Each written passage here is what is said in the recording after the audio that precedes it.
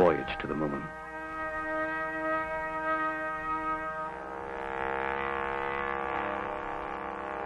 It is the 15th of July, 1969.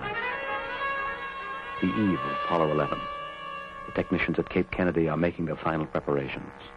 Preparations for a flight that only a decade before seemed a fantasy. But through the efforts of leaders like Wernher von Braun and thousands of technicians, once again, fantasy has been transformed into reality. The Saturn V rocket.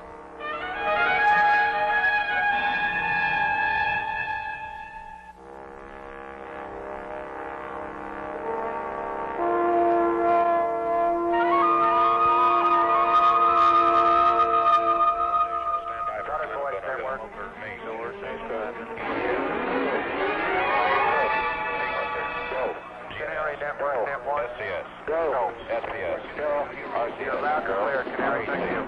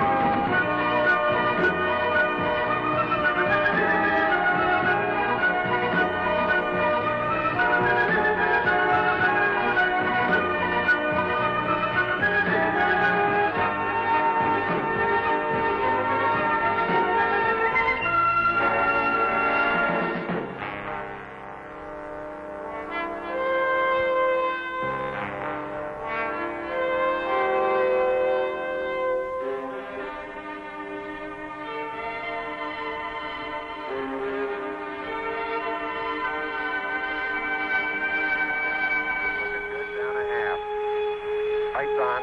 Contact light. Okay, engine stop. ACA at a descent. Mode control both auto descent engine command override off. Engine arm off. 413 is in. We copy you down, Eagle. Listen, uh, Tranquility Base here. The Eagle has landed. Going step off the limb now. That's one small step for man, one giant leap for mankind.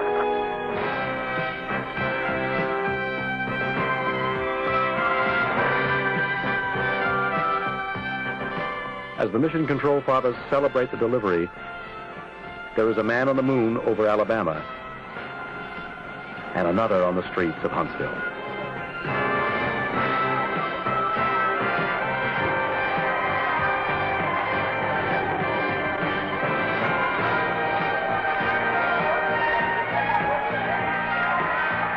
He tells a friend he must be in Washington tomorrow.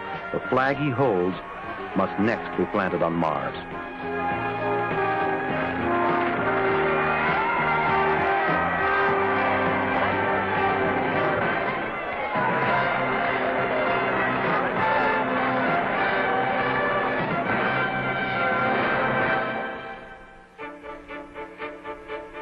Having won the race to the moon, and with America embroiled in an expensive, unpopular war, the budget for space exploration is cut in favor of programs of more immediate earthly needs.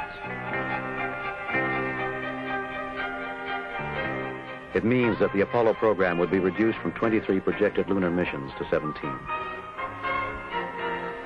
And it means that the fulfillment of von Braun's dream of manned flight to Mars and beyond would belong to another generation.